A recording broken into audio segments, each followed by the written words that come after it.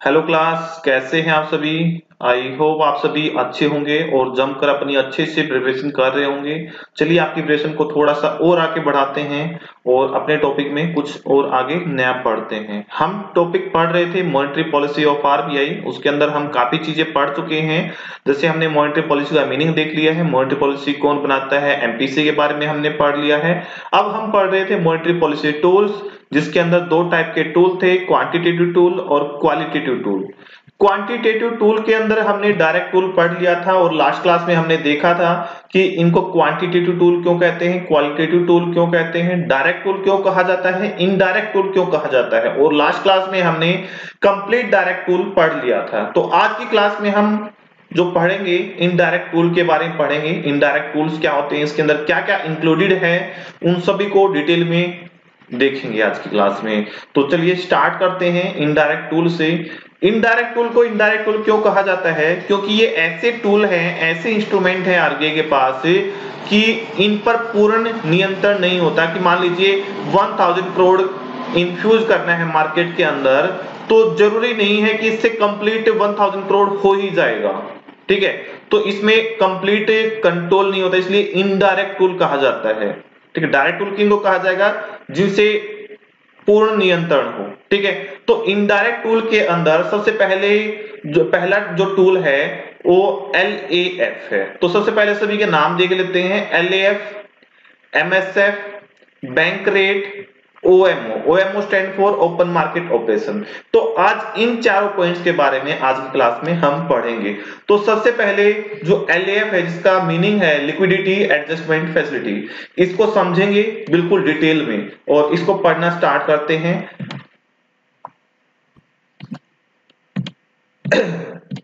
ये तो मैंने लास्ट क्लास में पढ़ा दी है ये चीज़ें, अब मैं सीधा एलएएफ से स्टार्ट करूँगा। ये सारी चीज़ें हमने लास्ट क्लास में डिस्कस की थी। ठीक है? रिफाइनेंस फैसिलिटी तक हो गया था लास्ट क्लास में। अब बात आती है एल ठीक है? लिक्विडिटी एडजस्टमेंट फैसिलिटी अब मैं एक वर्ड का मीनिंग आपको ब्रेक करके समझाता हूँ। फैसिलिटी का मतलब क्या होता है? सुविधा। कुछ एडजस्टमेंट करने के लिए। किस चीज़ की सुविधा? कुछ एडजस्टमेंट करने के लिए। क्या एडजस्टमेंट करने के लिए? लिक्विडिटी अब ये लिक्विडिटी क्या होती है? मनी को या कैश को क्या कहा जाता है? लिक्विडिटी कहा जाता है इकोनॉमिक्स की भाषा में। तो आप यहाँ से एक वर्ड सीख लें। लिक्विडिटी का मतलब क्या होता है? तरलता। और तरलता का इकोनॉमिक्स की भाषा मीनिंग क्या है? कैश। कैश एडजस्टमेंट करने की सुविधा या मनी एडजस्ट करने की सुविधा। इसका मीनिंग क्या निकाला आपने? मनी एडजस्ट करने की सुविधा या पैसा एडजस्ट करने की सुविधा। कैसा पैसा एडजस्ट करने की सुविधा? कैसा पैसा एडजस्ट करने की सुविधा भाई? जब जब बैंकों के पास पैसा कम हो जाए, जब बैंकों के पास पैसा कम हो जाए या बैंकों के पास पैसा ज़्यादा हो जाए, जिसकी वजह से मार्केट में मनी फ्लो बहुत ज़्यादा हो सकता है या बहुत कम हो सकता है, उसको एडजस्ट करने के लिए आरबीआई के द्वारा एक सुविधा प्रोवाइड की गई है। उसी को क्या कहते हैं? लिक्विडिटी एडजस्टमेंट फैसिलिटी कहते हैं। क्या कहते हैं? लिक्विडिटी एडजस्टमेंट फैसिलिटी कहते हैं। जब बैंकों के पास पैसे कम या ज़्यादा हो जाए, जिससे मार्केट में मनी की सप्लाई बहुत ज़्यादा या कम हो सकती है, उसको एडजस्ट करने के लिए जो सुविधा आरबीआई ने प्रोवाइड की है, उसको क्या कहते हैं? एलएएफ कहते हैं लिक्विडिटी एडजस्टमेंट फैसिलिटी ठीक है? कैसा पैसा कम हो जाएगी बैंकों के पास, कौन सा पैसा कम हो सकता है? देखो, बैंकों को आपने लास्ट क्लास में पढ़ा था कि रिज़र्व मेंटेन करने पड़ते हैं। रिज़र्व मेंटेन करने पड़ते सीआरआर की फॉर्म में एक एसएलआर की फॉर्म में। जब कभी बैंकों के पास सीआरआर और एसएलआर को मेंटेन करने के लिए पैसों की कमी हो जाए मार्केट में पैसों की कमी हो जाए तो उस कमी को एडजस्ट करने के लिए कोई सुविधा प्रोवाइड की है कि भाई अगर आपके पास कमी हो जाती है तो उसको कैसे एडजस्ट करेंगे, उसको कैसे ठीक करें, उसके लिए आरबीआई ने एक फैसिलिटी प्रोवाइड की है। उसका नाम क्या रखा है? एल ए एफ़ रखा है। मीनिंग समझ में आया आपको कि बैंक दो तरह के रिज़र्व मेंटेन करते हैं, एक सीआरआर एक एसएलआर सीआरआर आरबीआई के पास रखते हैं एसएलआर बैंक अपने पास रखते हैं। ये मैं लास्ट क्लास में डिस्कस कर चुका हूँ तो इनको दोबारा से रिपीट करने का कोई फ़ायदा नहीं होगा। तो इनके, इनको मेंटेन करने के लिए जब कभी बैंकों के पास पैसों की कमी हो जाती है तो उस कमी को एडजस्ट करने के लिए, उस लिक्विडिटी को एडजस्ट करने के लिए जो आरबीआई फैसिलिटी प्रोवाइड कराता है, उसको लिक्विडिटी एडजस्टमेंट फैसिलिटी कहा जाता है। और एलएफ को इस फैसिलिटी को प्रोवाइड कराने के लिए आरबीआई ने आरबीआई ने दो टूल प्रोवाइड किए हैं। यानी कि मैं कह सकता हूँ कि एलएफ के दो पार्ट होते हैं। एक होता है रेपो रेट एक होता है रिवर्स रेपो रेट रेट का मतलब क्या होता है? दर और कौन सी दर? ब्याज की दरें। तो LF is use by the bank in case of emergency और for adjusting in their SLR और सीआरआर रिक्वायरमेंट क्लियर हुआ और जो इसके अंदर पैसा ट्रांसफ़र किया जाएगा, वो आरटीजीएस के थ्रू किया जाता है। और जैसे कि मैंने बताया कि एलएफ के दो कंपोनेंट होते हैं, एक रेपो रेट होता है, एक दूसरा, क्या होता है? रिवर्स रेपो रेट होता है। तो इसके अंदर क्या होता है? इसके अंदर रेपो रेट क्या होता है? रेपो रेट की फुल फॉर्म होती है रीपर्चेज ऑप्शन रेट आरई का मतलब क्या है? री आरई से मतलब क्या है? री पी से परचेज ऑफ़ से ऑप्शन रेट मतलब क्या है कि वह सिंपल लैंग्वेज में बता रहा हूँ, अभी आपको यहाँ पर डिटेल में आगे बताऊँगा। वह ब्याज की दर जिस पर कमर्शियल बैंक आरबीआई से लोन लेते हैं, उसको रेपो रेट कहते हैं। ठीक है? क्या बताया मैंने? That interest rate on which commercial bank borrow money from RBI ठीक, उसको क्या कहते हैं? रेपो रेट कहते हैं। अब इसका ठीक उल्टा कर दीजिए reverse repo rate reverse repo rate वह ब्याज की दर जिस पर आरबीआई बैंकों से लोन लेता है या आरबीआई बैंकों के एक्स्ट्रा पैसे को अपने पास पार्क करता है और जो बदले में इंटरेस्ट देता है, उसको रिवर्स रेपो रेट कहते हैं। वह ब्याज की दर जिस पर आरबीआई बैंकों के पैसे को लेता है दे नहीं रहा लेता है, उसको रिवर्स रेपो रेट कहते हैं। ठीक है? तो ये दोनों चीज़ें दी गई हैं, ये दोनों चीज़ें दी गई हैं पैसे को एडजस्ट करने के लिए सुविधा आरबीआई के द्वारा? जब बैंकों के पास पैसे कम हो जाएँ तो रेपो रेट पर पैसे उधार ले सकते हैं एडजस्ट करने के लिए, उस रिक्वायरमेंट को पूरा करने के लिए। और जब कभी ज़्यादा हो जाए बैंकों के पास पैसे तो वो रिवर्स रेपो रेट पर आरबीआई को पैसे दे सकते हैं। इस लेन देन को सारे के सारे बैंक कर सकते हैं, सिवाय एक बैंक के। उस बैंक का नाम क्या है? उन बैंकों का नाम क्या है? आरआरबी। आरआरबी कौन सी कैटेगरी के बैंक है? बताइए रीजनल रूरल बैंक क्षेत्रीय ग्रामीण बैंक सिर्फ़ इसके अंदर पार्टिसिपेट नहीं करते, नहीं तो बाकी सभी बैंक रेपो रेट और रिवर्स रेपो रेट पर रेपो रेट और रिवर्स रेपो रेट पर लेन देन कर सकते हैं। रेपो रेट हमेशा क्या होगी? महँगी होगी। रेपो रेट हमेशा क्या होगी? महँगी होगी रिवर्स रेपो रेट से। क्यों होगी? भाई सोचो बैंक हमेशा आपको लोन महँगा देता है। बैंक हमेशा आपको लोन महँगा देता है और आपकी सेविंग सस्ते दाम पर लेता है। ठीक ऐसा ही ऐसा ही लेन देन होता है आरबीआई और बैंकों के बीच में। आरबीआई हमेशा महँगा लोन देगा, बैंकों को और सस्ते दाम पर लेगा। तो देने आरबीआई की जो देने वाली रेट है, वो रेपो रेट है, ठीक है? तो रेपो रेट हमेशा बड़ी होती है रिवर्स रेपो रेट से। और रेपो रेट और रिवर्स रेपो रेट के जो बीच का डिफरेंस होता है, उसको कॉरिडोर कहा जाता है। कौन सा कॉरिडोर लिक्विडिटी कॉरिडोर कॉरिडोर का मतलब क्या होता है? गलियारा, यानी कि बीच का डिफरेंस बीच का डिफरेंस बीच का गैप गलियारा तो उसको क्या कहा जाता है? लिक्विडिटी कॉरिडोर कहा जाता है। LF is the difference between the repo rate and reverse repo rate और या फिर हम इसको लिक्विडिटी कॉरिडोर के नाम से भी जानते हैं। तो अब हम पढ़ेंगे रेपो रेट और रिवर्स रेपो रेट के बारे में डिटेल में, ठीक है? तो रेपो रेट की मैंने फुल फॉर्म बताई थी। रेपो में री का मतलब क्या है? री री और पी का मतलब क्या है? परचेज ओ का मतलब क्या है? ऑप्शन और रेट है। Repurchase option rate repurchase option rate का मतलब क्या है? देखो भी, जिस रेपो रेट मैंने क्या बताया? जिस ब्याज दर पर कमर्शियल बैंक आरबीआई से लोन लेंगे आरबीआई से जब वो लोन लेंगे तो कुछ ना कुछ कुछ ना कुछ वो क्या करेंगे? आरबीआई पास गिरवी रखेंगे, कुछ ना कुछ सिक्योरिटी रखेंगे आरबीआई के पास, कुछ ना कुछ कोलेटरल्स रखेंगे आरबीआई के पास। उसी के बदले में तो क्या देंगे? लोन देगा ना आरबीआई तो जो कोलेटरल रखता है आरबीआई के पास, जो भी कोई बैंक मान लो एसबीआई लोन लेने गया रेपो रेट पर आरबीआई के पास तो एसबीआई कुछ ना कुछ गवर्नमेंट सिक्योरिटीज आरबीआई के पास रखेगा।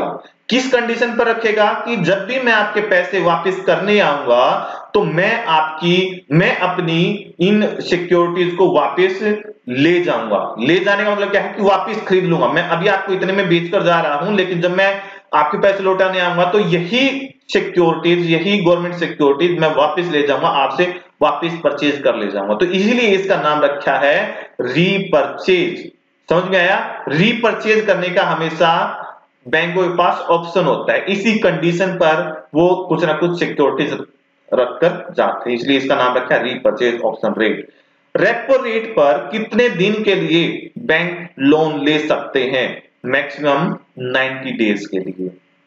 तो रेपो रेट क्या है? Repo rate is rate at which commercial bank and other financial institution other financial institution क्या है भाई? नाबार्ड हो सकता है सीड भी हो सकता है, कोई एनबीएफसी हो सकती है, ठीक है? Other financial institution borrow money from RBI for a period up to 90 days. Maximum 90 days तक इस ब्याज की दर पर लोन लिया जा सकता है। अब इससे ज़्यादा के लिए लेना हो तो वो कौन सी रेट होगी? वो बैंक रेट होती है, वो अभी आगे आएगी। ठीक है? वो बैंक रेट होती है, वो अभी इसके बाद आएगी। क्लियर हुआ? मैंने अभी तक क्या बताया आपको? रेपो रेट वह ब्याज की दर होती है। जिस पर कमर्शियल बैंक यानी कि जितने भी बैंक हैं सिवाय आरआरई बैंकों को छोड़कर रीजनल रूरल बैंकों को छोड़कर सभी जिस ब्याज दर पर आरबीआई लोन लेते हैं 90 दिन तक के लिए उसको रेपो रेट कहते हैं। इसकी फुल फॉर्म बताई है रीपर्चेज ऑप्शन रेट इसकी फुल फॉर्म बताई है। ऐसे तो मान लो कोई भी बैंक लेने आ जाएगा कि मुझे एक हज़ार करोड़ का लोन चाहिए, मुझे एक दस हज़ार का चाहिए, एक लाख हज़ार करोड़ का लोन चाहिए, कोई भी कितने भी डिमांड कर लेगा तो क्या ऐसे जितना भी कोई डिमांड करेगा और कोई सिक्योरिटी रख दे कोई सिक्योरिटी रख दे बैंक आरबीआई पास तो क्या उसको लोन मिल जाएगा? नहीं, यहाँ पर भी एक कंडीशन रखी गई है कि एक बैंक मैक्सिमम जो लोन ले सकता है आरबीआई से मैक्सिमम जो लोन ले सकता है आरबीआई से रेपो रेट पर वो कितना है? 0.5 percent point five percent of NDTL यानी कि आधा परसेंट 0.5 परसेंट ऑफ़ एनडीटीएल अब एनडीटीएल क्या होता है, वो लास्ट क्लास में पढ़ा चुका हूँ आपको, लेकिन फिर भी यहाँ पर एक बहुत ही सिंपल लैंग्वेज में आपको बता देता हूँ एनडीटीएल क्या होता है। बैंकों के अंदर पब्लिक का जो कुल जमा धन होता है, जो कभी ना कभी बैंक को रिटर्न करना है, जो बैंक की कुल लाइबिलिटी होती है, उसको एनडीटीएल कहते हैं। एक बैंक को जितना कुल पैसा वापस पब्लिक को लौटाना है, उसको एनडीटीएल कहते हैं। इसको लैंग्वेज में और से मैं इसको डेफिनेशन में लास्ट क्लास में पढ़ा चुका हूँ। तो अगर मान लीजिए, एक बैंक के पास पब्लिक का कुल सौ रुपए है बैंक के पास पब्लिक का कुल सौ रुपए है तो उसमें से केवल पचास पैसे ही वो रेपो रेट पर, पचास पैसे ही रेपो रेट पर आरबीआई से नब्बे दिन तक के लिए उधार ले सकता है। क्लियर हुआ? 0.5 परसेंट का मतलब ये है। क्लियर हुआ? और जो एस एल आर सिक्योरिटीज है, वो bank S L R securities can not be use by bank to borrow money from RBI जो लास्ट क्लास में आपने पढ़ा था ना एस एल आर क्या होता है? जो लिक्विड एसेट की फॉर्म में बैंक अपने पास रखते हैं। तो वो जो रिज़र्व था ना S L R statutory liquidity ratio तो उसके अंदर जो सिक्योरिटीज रखी थी, जैसे ट्रेजरी बिल वगैरह रखे थे, उस पैसे को आरबीआई के पास गिरवी रखकर लोन नहीं ले सकता। उस पैसे को रेपो रेट पर लोन लेने के लिए यूज़ नहीं कर सकता है एक बैंक क्लियर हुआ? SLR securities cannot be used by bank to borrow money from RBI और मैंने जैसे कि बताया था आपको कि रेपो रेट हमेशा रिवर्स रेपो रेट से ज़्यादा होती है। और इसको क्यों यूज़ किया जाता है? To control the inflation to control the inflation अब इसको यूज़ कैसे करते हैं? ब्याज की दर है भाई, इसको घटाने बढ़ाने से क्या फ़र्क पड़ता है? रेपो रेट के बारे में सुना तो होगा ना? रेपो रेट सुन सुन रखा है ना? आज मैंने इसको बिल्कुल डिटेल में बता दिया है आपको। अब मुझे ये बताओ कि इन्फ्लेशन कैसे कंट्रोल होता है ब्याज की दर को घटाने बढ़ाने से, रेपो रेट को घटाने बढ़ाने से? चलो अब इसको देखते हैं अगली स्लाइड के अंदर। देखिए, अब मुझे ये बताइए कि रेपो रेट चल कितना रहा है प्रेजेंट में? बताइए प्रेजेंट में कितना रेपो रेट चल रहा है। तो अभी बताइए कितना चल रहा है रेपो रेट जो अभी प्रेजेंट में first bimonthly monetary policy statement के अकॉर्डिंग 2020-21 के अकॉर्डिंग जो रेपो रेट है, वो अभी प्रेजेंट में 4.40 परसेंट चल रही है। मैं इसी को लेकर चलता हूँ।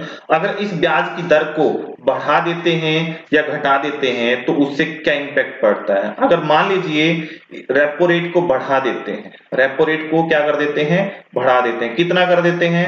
पाँच परसेंट कर देते हैं। ठीक है? अगर पाँच परसेंट कर दिया तो इससे क्या होगा? बैंकों को महँगा लोन मिलेगा, किससे महँगा लोन मिलेगा? आरबीआई से महँगा लोन मिलेगा। अगर आरबीआई से महँगा लोन मिलेगा तो बैंक भी आगे पब्लिक को महँगा लोन देंगे। तो बैंक पब्लिक को महँगा लोन देंगे तो बहुत सारी पब्लिक ऐसी होगी कि उस लोन को महँगा समझते हुए वो अपने काम को क्या करेंगे?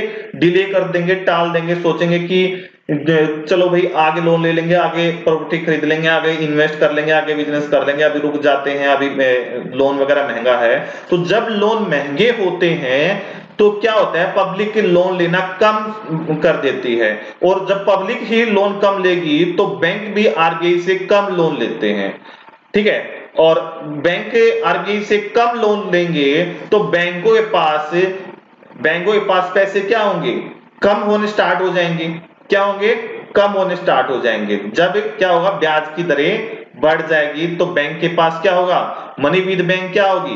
कम हो जाए, क्योंकि वो आरबीआई से कम पैसे लेंगे। वो क्या करेंगे? आरबीआई से कम पैसे लेंगे। क्लियर है? ठीक है। जब वो आरबीआई से कम पैसे लेंगे और पब्लिक भी कम लोन ले रही है तो क्या होगा? क्रेडिट क्रिएशन यानी कि लोन का क्रिएशन भी क्या होगा? कम होगा। और जब मार्केट में पैसा कम गया तो मनी फ्लो क्या होगा? मनी फ्लो भी इकोनॉमी के अंदर क्या होगा? कम होगा। मेरी बात को समझ पाए?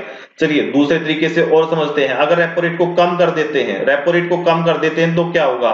रेपो रेट को मान लो फोर परसेंट कर दिया। यानी कि लोन सस्ता कर दिया। अब लोन सस्ते हो जाएँगे तो पब्लिक के बैंकों से लोन लेना ज़्यादा पसंद करेगी, बैंकों से ज़्यादा लोन लेने के लिए आएगी। जब बैंकों से लोन ज़्यादा लेने के लिए आएगी तो बैंक भी आरबीआई से ज़्यादा लोन उठाएँगे। ठीक है? अगर ज़्यादा लोन उठाएँगे तो बैंक के पास मनी क्या होगी? बढ़ जाएगी लोन देने के लिए। और वो लोन भी ज़्यादा देंगे। और जब वो लोन ज़्यादा देंगे तो मार्केट के अंदर मनी फ्लो क्या होगा? बढ़ जाएगा। मनी फ्लो क्या होगा? बढ़ जाएगा। तो आपने यहाँ पर क्या देखा? रेपो रेट और मनी फ्लो के अंदर इनवर्स रिलेशनशिप है। देर इज़ इनवर्स या opposite relationship between repo rate and reverse repo rate repo rate and reverse repo rate clear हुआ? इसलिए ये इन्फ्लेशन को कंट्रोल करने में मदद करता है। अब इन्फ्लेशन को कंट्रोल करने में क्या मदद करता है? देखो, चीज़ें महँगी कब होती हैं? ठीक है इन्फ्लेशन का मतलब क्या है? महँगाई हो जाना, चीज़ों के प्राइस बढ़ जाना। ठीक है, चीज़ों के प्राइस कब बढ़ते हैं? चीज़ों के प्राइस कब बढ़ते हैं? जब उसकी सप्लाई तो कम होती है, खरीदार ज़्यादा होते हैं। खरीदार ज़्यादा क्यों होते हैं? क्योंकि लोगों के पास पैसे ज़्यादा हैं। अब लोगों के पास पैसे ज़्यादा हैं तो ज़्यादा पे करेंगे। क्या है? ज़्यादा पे करेंगे ज़्यादा पे करेंगे। तो क्या होगा? मार्केट में प्राइस बढ़ेगा। और प्राइस बढ़ने को ही क्या कहते हैं? इन्फ्लेशन कहते हैं। अब प्राइस कैसे डाउन किए जाए? लोगों के पास अगर पैसे कम होंगे तो कम खरीदेंगे। और कम खरीदेंगे तो मार्केट अपने आप से कंट्रोल में आ जाएगी। तो लोग कम खरीदे, उसके लिए क्या करेंगे? लोन को हाई रेट कर देंगे। ब्याज की दर को बढ़ा देंगे। ब्याज की दर बढ़ने से क्या होगा? लोगों की परचेजिंग पावर कम हो जाएगी। समझ में आया? तो इसका इनवर्स रिलेशनशिप याद रखना है आपको, ठीक है? अब रिवर्स रेपो रेट के बारे में पढ़ते हैं रिवर्स रेपो रेट क्या होती है? रिवर्स रेपो रेट के आगे बस रिवर्स लिख दिया गया है, यानी कि रेपो रेट का ठीक उल्टा। रेपो रेट में कौन लेता था लोन बैंक लेते थे। देने वाला कौन था? आरबीआई था। लेकिन रिवर्स रेपो रेट में इसका ठीक उल्टा हो जाएगा। अब लोन देने वाले कौन है? कमर्शियल बैंक है। क्यों दे रहे हो? क्योंकि उनके पास सरप्लस मनी है। वो कहीं इसको अपने पास रखेंगे तो कुछ नहीं मिलेगा। तो कहीं ब्याज ब्याज पे दे दें तो ब्याज दर किसको दें? आरबीआई को ही देते हैं। ठीक है? तो जिस ब्याज दर पर कमर्शियल बैंक अपने पैसे को आरबीआई के पास रखते हैं आरबीआई को देते हैं, उस ब्याज दर को रिवर्स रेपो रेट कहा जाता है। It is the rate at which commercial bank gives its surplus money as loan to RBI RBI को लोन देते हैं, ठीक है? और ये हमेशा रेपो रेट से कम होते हैं। अगर रिवर्स रेपो रेट को इंक्रीज किया जाएगा तो मार्केट में मनी की सप्लाई डिक्रीज हो जाएगी और रिवर्स रेपो रेट को डिक्रीज किया जाएगा तो मनी की सप्लाई क्या हो जाएगी? इंक्रीज हो जाएगी। इसको टेबल की मदद से देखते हैं। इसको टेबल की मदद से देखते हैं। Repo rate reverse repo rate कितना चल रहा है? रिवर्स देखो रेपो कितना चल रहा था? रेपो चल रहा था 4.4 4.40 तो रिवर्स रेपो रेट इससे कम होगा। कितना कम चल रहा है प्रेजेंट में? 0.75 0.75 ठीक है? तो इसमें से कितना और कम कर दोगे? बताइए भाई जल्दी से बताइए। और रेप, रिवर्स रेपो रेट कितना चल रहा है? तीन पॉइंट पिछहत्तर। तो ये जो कितना डिफरेंस हुआ? पॉइंट सिक्सटी फाइव हुआ। Seventy five point sixty five हुआ। तो जो रिवर्स रेपो रेट है वो थ्री पॉइंट सेवन फाइव अभी प्रेजेंट में चल रहा है। क्लियर है? तो अब रिवर्स रेपो रेट मान लिया ये स्टैंडर्ड है। अब इसको कम या ज़्यादा करने से क्या इफ़ेक्ट पड़ेगा? तो अगर मान लो मैं रिवर्स रेपो रेट को बढ़ा देता हूँ रिवर्स रेपो रेट को बढ़ाकर मैंने क्या कर दिया? पाँच परसेंट कर दिया। क्या कर दिया मैंने? पाँच परसेंट कर दिया। तो इसका मतलब क्या है कि बैंक अपने पास जो पैसे रखेगा, उस पर ज़्यादा ब्याज दे रहा है। तो एक बैंक है, उसको, उसकी बात को ध्यान से सुनो। अगर वो आरबीआई को पैसे देता है तो कोई रिस्क नहीं है क्योंकि उसका पैसा नहीं डूबेगा। अगर वो पब्लिक को लोन देता है तो उसमें ज़्यादा रिस्क है। तो कम रिस्क कहाँ पर है? आरबीआई के पास है। तो एक बैंक सोचेगा, यार, मैं पब्लिक को लोन दूँ या आरबीआई को लोन दूँ? तो सोचेगा कि मैं कुछ पब्लिक को लोन दे देता हूँ और कुछ आरबीआई को ही, आरबीआई के पास ही पैसे दे देता हूँ, क्योंकि आरबीआई के पास एक सेफ़ इन्वेस्टमेंट है। जब पैसा बैंकों की तरफ़ से आरबीआई के पास जाएगा तो पब्लिक को देने के लिए जो लोन होगा, वो बैंक के पास क्या होगा? कम बच जाएगा। क्यों क्यों रख दिया आरबीआई के पास पैसा? क्यों दे दिया आरबीआई को? क्योंकि वहाँ पर सेफ़ इन्वेस्टमेंट था। अब सेफ़ इन्वेस्टमेंट था तो जो बाकी बचा पैसा जो पब्लिक को लोन के रूप में देगा तो बैंक के पास वो कम बच जाएगा। कम पैसा बचेगा तो कम लोन देगा बैंक पब्लिक को बैंक और कम पब्लिक को लोन दिया तो मार्केट में मनी की सप्लाई भी क्या हुई? कम हुई। मेरी बात को समझ पाए? ठीक है। अब रिवर्स रेपो रेट के अंदर क्या होता है? अगर मान लो ये इंक्रीज की थी, मैं इसको डिक्रीज कर दूँ। क्या कर दूँ? डिक्रीज कर दूँ। और इसको मान लो केवल टू परसेंट ही रख दूँ मैं। क्या कर दूँ? टू परसेंट अब क्या कर दिया? आरबीआई आरबीआई अब बहुत कम इंटरेस्ट दे रहा है बैंकों को आरबीआई के पास पैसा रखने पर, आरबीआई को लोन देने पर। तो अब जो जो बैंकों ने पैसा रख रखा है आरबीआई के पास तो सोचेंगे यार आरबीआई तो ना के बराबर ही इंटरेस्ट दे रहा है, कुछ ज़्यादा नहीं, ज़्यादा रिटर्न नहीं आ रहा है। इससे तो अच्छा मैं थोड़ा सा मार्केट में ही पैसा लगा दूँ और थोड़ा सा रिस्क उठा लूँ तो बैंक क्या करेंगे, आरबीआई को जो पैसा, आरबीआई के पास जो पैसा रख रखा है, उस पैसे को निकालना स्टार्ट कर देंगे, आरबीआई से उठाना स्टार्ट कर देंगे। कहेंगे, भाई हम आपके पास नहीं रख रहे, क्योंकि आप बहुत कम इंटरेस्ट दे रहे हैं। और वो क्या करेंगे? आरबीआई से उस पैसे को निकाल लेंगे। उसको निकाल कर क्या करेंगे? अपने पास ले आएँगे। जब अपने पास लेकर आएँगे तो मनी विद बैंक क्या हो जाएगा? बैंक के पास पैसा क्या होगा? बढ़ जाएगा। अब पैसे को उस घर तो रखेंगे नहीं बैंक उसको क्या करेंगे? इन्वेस्ट करेंगे मार्केट में। लोन के रूप में देंगे तो क्रेडिट क्रिएशन क्या होगा? बढ़ जाएगा। क्रेडिट क्रिएशन बढ़ा तो मार्केट में उस पैसे को लोन के रूप में बांटा जाएगा तो मार्केट में या इकोनॉमी के अंदर मनी की सप्लाई क्या होगी? बढ़ जाएगी। मनी की सप्लाई क्या होगी? बढ़ जाएगी। तो यहाँ पर इस तरह से मार्केट को कंट्रोल किया जाता है और आपने यहाँ से भी क्या देखा कि there is inverse relationship between reverse rate and money flow या मनी सप्लाई तो आपसे एग्ज़ाम में क्वेश्चन कैसे पूछा जाएगा? कि एग्ज़ाम में इस तरह से पूछा जाएगा आपसे कि मार्केट के अंदर मनी का फ्लो कम करना है। तो आरबीआई को रेपो रेट के संदर्भ में रेपो रेट के रिस्पेक्ट में क्या डिसीज़न लेना चाहिए? मार्केट के अंदर मनी का फ्लो कम करना है तो क्या करें? रिवर्स रेपो रेट को बढ़ा दें। रिवर्स रेपो रेट को बढ़ा दें। उससे क्या होगा? बैंक अपना पैसा आरबीआई पास ज़्यादा रखना स्टार्ट कर देंगे। आपसे ये कहें कि मार्केट के अंदर मनी का फ्लो कम करना है। मार्केट के अंदर मनी का फ्लो कम करना है तो क्या करें? रिवर्स रेपो रेट को बढ़ा देंगे। अगर आपसे पूछे कि मार्केट के अंदर मनी का फ्लो ऑलरेडी कम है तो क्या करें? कम है तो बढ़ाना है ना भाई। बैलेंस करने के लिए बढ़ाना है तो क्या करें? रिवर्स एपरेट को कम कर दें। मेरे हिसाब से बात समझ में आ गई होगी। दोनों की दोनों ब्याज की तरह समझ में आ गई होंगी। रिवर्स रेपो रेट के अंदर, रिवर्स रेपो रेट के अंदर कितने दिन के सॉरी रेपो रेट के अंदर आरबीआई से कितने दिन तक के लिए लोन ले सकते हैं? नब्बे दिन तक के लिए लोन ले सकते हैं। क्या मुझे ये बता सकते हैं कि रिवर्स रेपो रेट के अंदर आरबीआई के पास कितने दिन तक पैसा रख सकते हैं? भाई, बैंकों की मर्ज़ी है, कितने दिन के लिए भी रखे। क्या आप, जब आप अपने करंट अकाउंट के अंदर या सेविंग अकाउंट के अंदर पैसा रखने जाते हैं तो कुछ कुछ उसका टाइम फिक्स करके जाते हैं क्या? कि इतने दिन के लिए ही आरबीआई रखेगा अपने बैंक रखेगा अपने पास। नहीं ना आपका जब भी मन हो उसको निकाल लो, जब भी मन हो उसको डाल लो। तो इस हिसाब से होता है रेपो रेट और रिवर्स रेपो रेट मेरे हिसाब से दोनों ब्याज की दरें थी, समझ में आ गई होंगी। ठीक है, आगे बढ़ते हैं। आगे है एमएसएफ रेट एमएसएफ रेट ठीक है एमएसएफ क्या होता है? Marginal standing facility rate marginal standing facility rate marginal standing facility rate क्या होती है? ठीक है, जब बैंक को केवल एक दिन के लिए, या मैं कहूँ 24 घंटे के लिए, या मैं कहूँ ओवरनाइट के लिए ही पैसों की ज़रूरत हो तो उस ब्याज दर पर, ठीक है, यानी कि एक दिन की उधार लेने के लिए जो ब्याज की दर लगाई जाती है, उस ब्याज दर को एमएसएफ रेट कहा जाता है। एक दिन के लिए आरबीआई से जिस रेट पर पैसा बैंक उधार लेते हैं, उस ब्याज दर को क्या कहते हैं? एमएसएफ रेट कहते हैं, ठीक है? It is the rate at which commercial bank borrow fund from RBI for a period up to up to ध्यान रखना up to one day hour overnight against government securities यहाँ पर भी क्या होता है? गवर्नमेंट सिक्योरिटीज तो गिरवी रखनी पड़ेगी, कुछ ना कुछ कोलेटरल्स तो बैंकों को रखनी पड़ेंगे। देखो, जहाँ पर मार्जिनल वर्ड आ जाए, उसका मतलब ही होता है सिंगल यूनिट किसी चीज़ की सिंगल यूनिट अब किसी चीज़ की सिंगल यूनिट का मतलब क्या है? कि जैसे वन डे है। एक दिन टाइम की यूनिट है, एक दिन, कम से कम एक दिन के लिए। दिन के हिसाब से लगता है ना पर डे के हिसाब से इंटरेस्ट लगता है। आपके सेविंग अकाउंट पर भी पर डे के हिसाब से मिलता है इंटरेस्ट ठीक है? तो एक दिन के लिए, उधार के लिए जो ब्याज की दर होती है, उसको एमएसएफ रेट करते हैं। भाई, एक दिन के लिए उधार क्यों लेगा बैंक? कुछ ना कुछ इमरजेंसी होगी, और इमरजेंसी होगी तो लोन महँगा मिलेगा। किससे महँगा मिलेगा? रेपो रेट से महँगा मिलेगा। क्या है? रेपो रेट से महँगा मिलेगा। तो सर, रेपो रेट से महँगा मिल रहा है तो हम रेपो रेट पे ही ना ले लें और ज़्यादा दिन के लिए मिल जाए।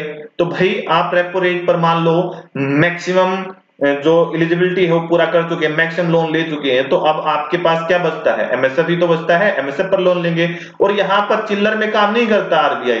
कहता है कि भाई, अगर पैसा लेना है तो एक करोड़ के मल्टीपल में लेना होगा। ये भी एग्ज़ाम में आ चुका है कि minimum amount that can be borrowed from the RBI at MSF rate is one crore और इन इट्स मल्टीपल एक करोड़ या एक करोड़ के मल्टीपल में। अच्छा मैक्सिमम कितना लोन ले सकता है आरबीआई से कोई बैंक एमएसएफ रेट पर? तो maximum two percent of NDTL अब याद हो चुका होगा ना एनडीटीएल क्या है? Net demand and time liability क्या होता है इसका मतलब? पब्लिक की जो कुल डिपॉजिट से किसी बैंक के पास उसका मैक्सिमम दो परसेंट तक। अगर मान लो किसी बैंक के पास सौ रुपए हैं तो, तो एनडीटीएल सो है तो उसकी दो दो रुपए ही आरबी से एमएसएफ रेट पर ले सकते हैं ठीक है? Under MSF under MSF scheduled commercial bank can use their SLR securities to borrow loan from RBI ये मोस्ट इंपॉर्टेंट पॉइंट है इसको ध्यान रखना। जो हमने लास्ट रेट पढ़ी थी जो रेपो रेट पढ़ी थी ठीक है? रेपो रेट से हमने पहले ए, हमने क्या पढ़ा था? एसएलआर एसएलआर क्या थी? कि एसएलआर के बैंकों को अपने पास रखना पड़ता था रिज़र्व के रूप में कुछ पैसा ठीक है? तो जो एसएलआर के अंदर जो सिक्योरिटी रखी थी, जैसे ट्रेजरी बिल वगैरह, उनको रेपो रेट पर लोन लेने के लिए यूज़ नहीं कर सकता था, लेकिन एमएसएफ रेट पर लोन लेने के लिए जो एसएलआर सिक्योरिटीज है, उनको यूज़ कर सकता है। ऐसा क्यों? क्योंकि यहाँ पर केवल एक दिन की ही बात है। तो एक दिन के लिए आरबीआई एडजस्ट कर लेता है। क्लियर हुआ ये पॉइंट एमएसएफ रेट एक दिन के लिए उधार ली जाती है जिस ब्याज की दर पर। ठीक है? अगला है बैंक रेट ठीक है? बैंक रेट क्या है? भाई, रेपो रेट पर कितने दिन के लिए उधार ले सकता था आरबीआई से कोई बैंक 90 दिन तक मैक्सिमम अगर 90 दिन से ज़्यादा के लिए उधार चाहिए तो उस रेट को क्या कहते हैं? बैंक रेट कहते हैं।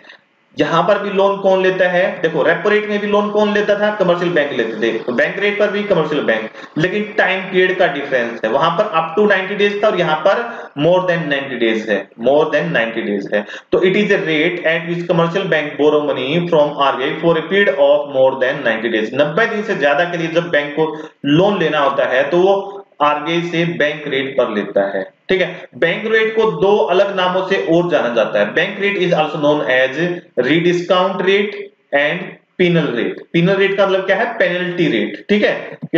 आरबीआई को बैंकों पर जो जुर्माना लगाना होता है, वो भी बैंक रेट को बेस रेट रखकर लगाती है। It is the rate at which RBI rediscount bill of exchange तो also known as rediscount rate ठीक है, इसलिए इसको रीडिस्काउंट रेट कहा जाता है। मैं इसको अगले पेज पर एक्सप्लेन करूँगा, ठीक है? इसको रीडिस्काउंट रेट या पिनल रेट क्यों कहा जाता है? पिनल रेट को तो मैं यहीं पर यूज़ कर दूँगा। RBI use the bank rate as penal rate ठीक है? इसको जुर्माना पिनल रेट का मतलब क्या है? जुर्माने वाली दर, ठीक है? पिनल रेट के रूप में यूज़ करता है। कब यूज़ करता है? जब बैंक कोई उल्लंघन कर देते हैं, कोई रूल रेगुलेशन ब्रेक कर देते हैं, या या एसएलआर या सीआरआर वाली जो मिनिमम रिक्वायरमेंट थी कि भाई इतना परसेंट तो रखना ही रखना, जो लास्ट क्लास में पढ़ा था, वो पूरी नहीं कर पाते फुलफिल नहीं कर पाते तो पेनल्टी लगाता है। कैसे पेनल्टी लगाता है कि अगर पहले दिन बैंक सीआर और एसएलआर मेंटेन नहीं कर पाए सीआर एसएलआर के संदर्भ में बता रहा हूँ, मैं रिस्पेक्ट में बता रहा हूँ, अगर पहले दिन सीआर एसएलआर मेंटेन नहीं कर पाए बैंक तो उन पर कितना एक्स्ट्रा चार्ज लगेगा? Bank rate plus three percent per annum bank rate plus three percent जो भी बैंक रेट चल रही होगी प्रेजेंट में, वो प्लस उसमें तीन परसेंट एक्स्ट्रा एड कर दीजिए और पर एनम के हिसाब से उन पर चार्ज लगता है, उनको पे करना पड़ता है। अगर सेकेंड डे भी सीआर और एसएलआर मेंटेन नहीं करता है कोई बैंक जब उससे अगले दिन भी मेंटेन नहीं करता है तो उस पर अगला जो चार्ज लगता है bank rate plus five percent per annum bank rate plus five percent per annum यहाँ पर लॉन्ग टर्म के लिए लोन लिया जाता है और ये ब्याज की दर थोड़ी महँगी भी होती है, इसलिए यहाँ पर कोलेटरल्स की ज़रूरत नहीं होती। Bank can borrow money without pledging government securities to RBI बिना सिक्योरिटीज के भी लोन मिल जाता है बैंक रेट पर। क्लियर हुआ? 90 दिन से ज़्यादा के लिए इसको रीडिस्काउंट रेट भी कहा जाता है। और पिनल रेट भी कहा जाता है। पिनल रेट क्यों कहा जाता है? पेनल्टी लगाने के लिए इसको बेस मानकर चलता है। ये दो पॉइंट है जो फ़र्स्ट और सेकंड डे या आपके एग्ज़ाम में पूछा जा चुका है। कैसे क्वेश्चन पूछा गया है कि जब आ, जब कोई bank commercial bank central commercial bank CR SLR maintain नहीं करता तो फ़र्स्ट डे क्या पेनल्टी लगती है? तो आप क्या बताएँगे? Bank rate plus three extra per annum second day bank rate plus five extra per annum तो ये बताना है, आपको एग्ज़ाम में पूछे जा चुके हैं। एक ही पॉइंट एक्स्ट्रा ऐसा नहीं रखूँगा जो एग्ज़ाम में ना पूछा गया हो, ठीक है? आगे चलते हैं। अब बैंक रेट को रीडिस्काउंट रेट क्यों कहते हैं, वो मैं समझा देता हूँ। मानिए, ये ए पर्सन है, ये बी पर्सन है, ये ए पर्सन है, ये बी पर्सन है। ए पर्सन है जो, ये कौन है? ये परचेजर है। ये सेलर है किसी प्रोडक्ट का। ठीक है? ये ए माल परचेज करने गया हंड्रेड रुपीज़ का। ये ए माल परचेज करने गया हंड्रेड रुपीज़ का, लेकिन ए ने बी ए के पास पैसे नहीं थे, लेकिन ए के पास पैसे नहीं थे उधार में ठीक है? क्रेडिट में माल खरीदने गया। किसमें? क्रेडिट में। बी ने कहा, भाई ठीक है, एक बिल लिख कर दे दो, उस पर साइन करके दे दो। ठीक है? और मैं एक बिल लिख देता हूँ। ठीक है? और उस पर आप साइन करके दे दीजिए कि आपने कितने महीने के लिए उधार पर लिया है और कितने रुपए एक्स्ट्रा चार्ज लग जाएँगे? मान लीजिए, यहाँ पर मैं रख देता हूँ कि थ्री मंथ के लिए क्रेडिट है और थ्री मंथ के बाद हंड्रेड रुपीज़ का तो माल ही है और इसको कितना पे करना है? वन थर्टी रुपीज़ पे करना है। कितना पे करना है? वन थर्टी रुपीज़ पे करना है। तीन महीने के बाद। टोटल मिलाकर एक सौ तीस रुपए पे करना है। इस साइन पर ए सिग्नेचर करेगा, वापस बी को दे देगा। अब इसको क्या कहेंगे? बिल कहेंगे। ठीक है? ये बिल है। अब ये किसके पास प्रूफ के तौर पर रहेगा? बी के पास रहेगा कि तीन महीने बाद ए से पैसा लेना है। किससे पैसा लेना है? ए से पैसा लेना है। लेकिन तीन, एक ही मंथ के बाद आफ्टर वन मंथ बी को इमरजेंसी में बहुत कुछ पैसों की ज़रूरत पड़ गई। ठीक है? क्या हो गया? कुछ पैसों की ज़रूरत पड़ गई। अब ज़रूरत पड़ गई है तो क्या ए पैसे देगा? ए तो अभी पैसे नहीं देगा ना। अब ए पैसे नहीं देगा तो कहाँ जाए तो बी गया अपने बैंक के पास। और बैंक को कहा, और बैंक को कहा कि आप मेरे पास मुझे कुछ पैसों की ज़रूरत है। बैंक ने कहा कि कुछ सिक्योरिटीज ले आइए। बैंक, बी ने कहा मेरे पास कुछ सिक्योरिटीज तो नहीं है। हाँ एक बिल है। हाँ एक बिल है। और उस बिल को पे अगर कुछ आप दे सकते हैं तो मुझे दे दीजिए। बैंक ने कहा, ठीक है, वो बिल ले आइए, वो बिल ले आइए मेरे पास, मैं उस पर कुछ पैसे आपको दे दूँगा। ठीक है? तो एक सौ तीस रुपए का बिल लेके गए, ठीक है? जिसमें से एक एक महीना, चलो, अभी नहीं हुआ है, मान लीजिए। तो इसमें से थर्टी रुपीज़ डिटेक्ट करके, थर्टी रुपीज़ डिटेक्ट करके हंड्रेड रुपीज़ किसको दे दिए? बी को दे दिए किसने? बैंक। अब ये जो बिल है, ये किसके पास रहेगा? बैंक के पास रहेगा। बैंक ने क्या किया है? बी का बिल डिस्काउंट कर दिया है। बी को अपने पैसे मिल गए। अब तीन महीने पूरे होने के बाद ए पे करेगा बैंक को। अगर ए पे नहीं करेगा तो ए डिफॉल्टर कहलाएगा। उसमें बी का कोई रोल नहीं होगा। क्लियर है? अब बैंक को भी अचानक से पैसों की ज़रूरत पड़ गई। बैंक को भी अचानक से पैसों की ज़रूरत पड़ गई। अब बैंक कहाँ गया? आरबीआई के पास गया। अब बैंक कहा गया? आरबीआई के पास गया। ठीक है? और आरबीआई के पास गया और कहा कि मुझे कुछ पैसों की ज़रूरत है, मैं सिक्योरिटी के तौर पर कोलेटरल के तौर पर ये बिल रख देता हूँ। ये बिल रख देता हूँ। और अब आरबीआई कहेगा कि मैं इस पर कुछ चार्ज लूँगा। एक सौ तीस रुपए का बिल है तो मैं इस पर कितने डिडक्ट करूँगा? जितनी बैंक रेट चल रही है, जितनी बैंक रेट चल रही है। अब बैंक रेट जितनी भी चल रही होगी अभी प्रेजेंट में, ठीक है? बैंक रेट जितनी भी चल रही होगी, उसी हिसाब से बैंक से क्या कर लेंगे? चार्ज चार्ज कर लेगा बैंक से आरबीआई बाकी डिडक्ट करके बी को दे देगा। अब आरबीआई पैसे किससे लेगा? ए पर्सन से लेगा। अब ए या बी ये कौन थे? मान लीजिए, ये भी कोई एक्स वाई जेड बैंक ही थे, या कोई सेलर था परचेजर था, इस हिसाब से। तो इसको, इसी बिल को री डिस्काउंट किया गया दो बार से डिस्काउंट किया गया। इसीलिए किस रेट पर डिस्काउंट किया गया? बैंक रेट पर डिस्काउंट किया गया। तो इसीलिए इसीलिए बैंक रेट को रीडिस्काउंट रेट भी कहते हैं। बैंक रेट को रीडिस्काउंट रेट भी कहते हैं। क्लियर हुआ? मेरे हिसाब से हो गया होगा कॉन्सेप्ट देखो, जब भी आपको इन रेट्स के बारे में जानकारी लेनी हो ना कि ये रेट कितनी चल रही है परसेंट में बैंक रेट कितनी चल रही है रेपो रेट कितनी चल रही है रिवर्स रेपो रेट कितनी चल रही है तो आपको इनके बारे में ज़रूर नॉलेज होनी चाहिए। कहाँ कहाँ पर रिक्वायरमेंट होगी? एक तो आपको इंटरव्यू के अंदर रिक्वायरमेंट होगी। जब आपका इंटरव्यू होगा, वहाँ पर आपसे रेट पूछा जाएगा, इनका मीनिंग पूछा जाएगा।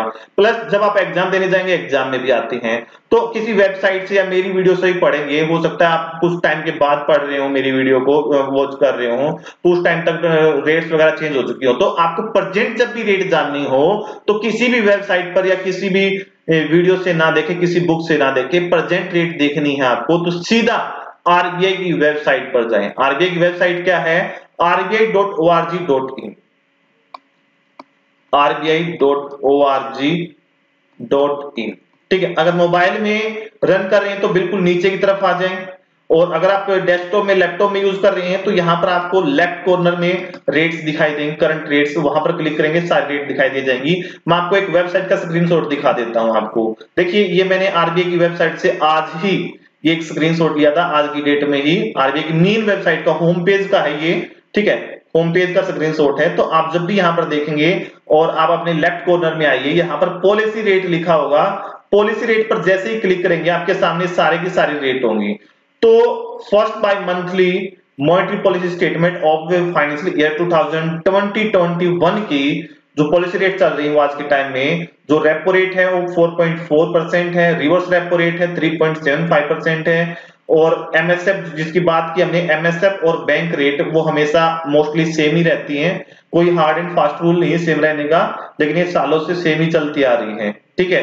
तो ये कितनी चल रही है? 4.65 परसेंट चल रही है। अगर आपको सीआरआर एसएलआर के बारे में जानकारी लेनी है कि कितनी परसेंट चल रही है, तीन और अठारह परसेंट चल रही है प्रेजेंट में तो आप रिज़र्व रिस्क पर क्लिक कीजिए। एक्सचेंज रेट कितनी चल रही है? तो आप एक्सचेंज रेट्स पर क्लिक कीजिए। यहाँ से आपको सारी जानकारी मिल जाएँगी। और जो जो नई चीज़ें आ रही है मार्केट में जो जो नई चीज़ें आ रही हैं, वो सारी आपको होम पेज पर व्हाट्स न्यू के अंदर मिल जाती है। जैसे सबसे इंपॉर्टेंट अभी एक अपॉइंटमेंट हुई है, जिसका नाम है तरुण बजाज, श्री तरुण बजाज। तरुण बजाज को secretary department of economic affairs ठीक है?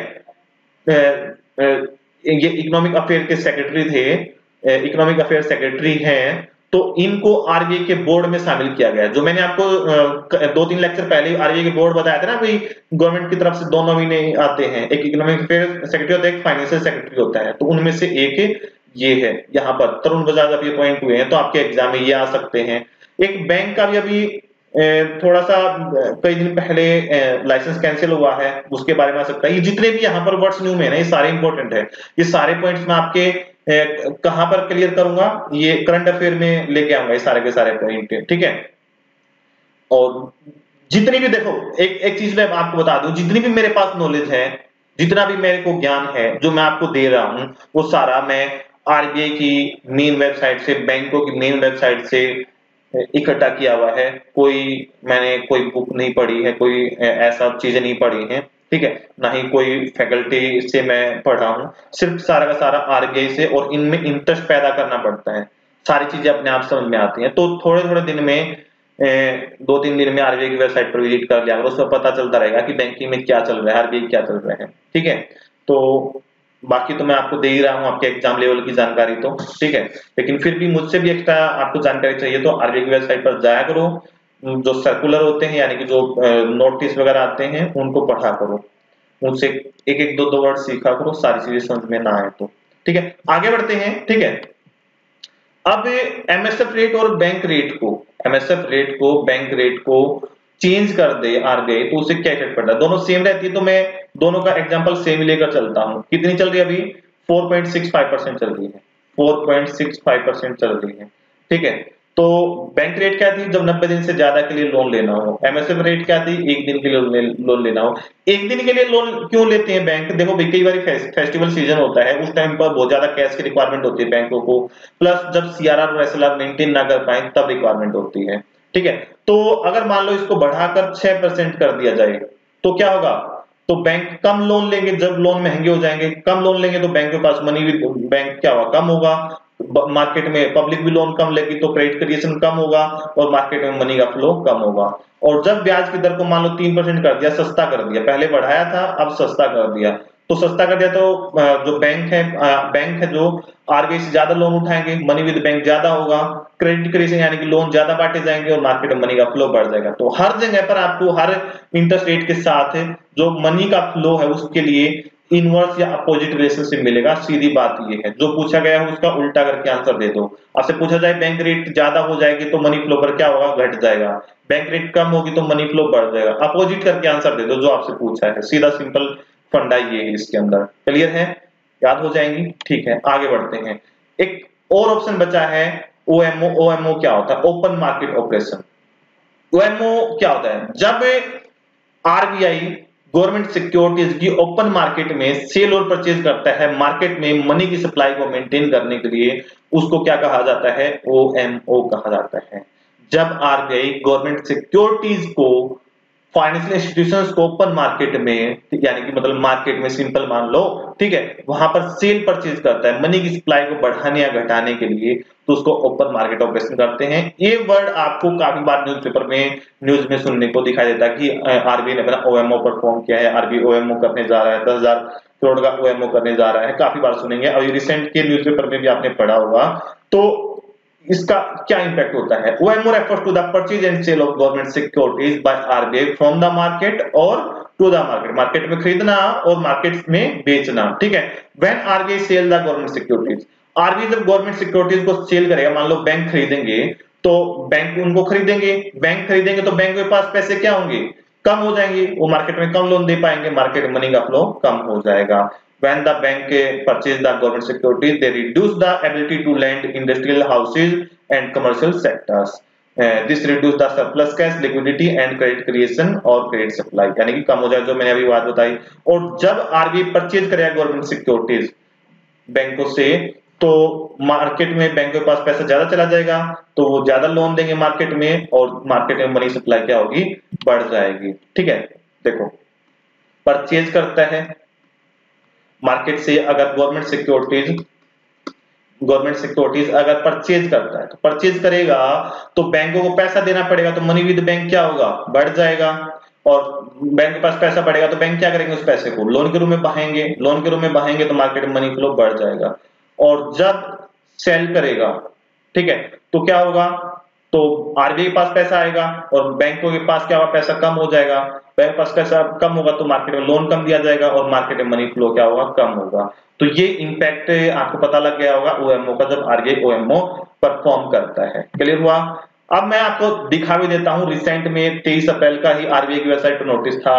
ठीक है सर्कुलर अगर आप भी पढ़ना चाहें तो वहाँ पर जाकर पढ़ सकते हैं, तेईस अप्रैल का, कि RBI announce special open market operation ठीक है of simultaneously purchase and sale of government securities अब यहाँ पर सेमुलटेंसली का मतलब क्या है? एक साथ बेच भी रही है और खरीद भी रही है। कुछ सिक्योरिटी को बेचेगी, कुछ सिक्योरिटीज को खरीदेगी। ठीक है, कितने रुपए की? टेन थाउज़ेंड करोड़ ठीक है फॉर टेन थाउज़ेंड करोड़ ठीक है सताइस अप्रैल को। तो ये सारी डिटेल्स हैं, ये आपकी समझ के से बाहर की चीज़ें हैं और मैं भी इनको नहीं समझाऊँगा। मेरे लिए तो बहुत सिंपल है ये चीज़ें, लेकिन आपके एग्ज़ाम में नहीं आएँगी। ये चीज़ें आपके एग्ज़ाम में नहीं आएँगी। समझना चाहें तो इसको पढ़ना चाहें तो इसको डाउनलोड करके आप पढ़ भी लेना, ठीक है? तो ये आप चीज़ें पढ़ भी सकते हैं। तो मैं तो एक दिखाना चाह रहा था कि ओएमओ कैसे होता है। आरबीआई की वेबसाइट पर जाएँगे तो आपको मिल जाएगा। ये अनाउंस किया है, बाद में इनके रिज़ल्ट आएँगे, किसको कितनी बेची गई, किसको खरीदी गई ठीक है, ये सारी चीज़ें आती है। अगर ग्रेट अमाउंट कितना था टोटल अमाउंट कितना था, दस हज़ार करोड़ था। तो इस तरह की न्यूज़ भी आती है आपके न्यूज़पेपर में। तो अभी हमने जो मॉनिटरी पॉलिसी पढ़नी स्टार्ट की थी मॉनिटरी पॉलिसी टूल्स पढ़ने स्टार्ट किए थे, उसके क्वांटिटेटिव टूल्स को कंप्लीट कर लिया है। ठीक है? जो क्वांटिटेटिव टूल्स थे हमारे, वो कंप्लीट हो गए हैं आज की क्लास में, सारे के सारे। अगली क्लास में हम क्वालिटेटिव टूल्स को पढ़ेंगे और सारे के सारे एक साथ ही पढ़ लेंगे, वो ज़्यादा बड़े नहीं है। तो सबसे ज़्यादा मेहनत थी, वो क्वांटिटेटिव टूल्स में थी।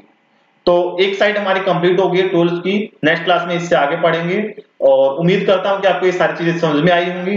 अगर फिर भी आपको कोई डाउट रह गया है तो नीचे वीडियो के नीचे कमेंट बॉक्स में कमेंट कर दीजिए। मैं आपके आंसर मैं आपके कमेंट पढ़ता हूँ और मैं आपको रिप्लाई भी कर दूँगा। ठीक है? या मेरे व्हाट्सएप नंबर पर पूछ सकते हैं। वहाँ पर भी मैं आपको रिप्लाई करता हूँ। प्लस अगली क्लास में इससे आगे बढ़ेंगे और मॉनिटरी पॉलिसी को कंप्लीट कर देंगे और धीरे धीरे इस कंप्लीट सीरीज़ को जो मैंने पूरी सीरीज़ स्टार्ट की है, इसको कंप्लीट कर देंगे। और अगर आपको वीडियो पसंद आई है तो वीडियो को लाइक कर दीजिए, ठीक है? और चैनल को तो आपने सब्सक्राइब कर ही रखा होगा, तभी आप इस वीडियो को देख रहे हैं। अगर नहीं भी किया है तो अभी कर लीजिए। प्लस जो भी आपके फ्रेंड्स प्रिपरेशन में है, जो गवर्नमेंट जॉब की प्रिपरेशन कर रहे हैं, बैंकिंग सेक्टर की प्रिपरेशन कर रहे हैं, उनको ये वीडियो फॉरवर्ड कर दीजिएगा। ठीक है? तो उससे क्या होगा? मुझे मोटिवेशन मिलेगा नेक्स्ट वीडियो अच्छे से रिकॉर्ड करने के लिए। तो उम्मीद करता हूँ आपको समझ में आई होंगी सारी बातें। तो चलिए मिलते हैं नेक्स्ट क्लास में। Have a nice day thank you class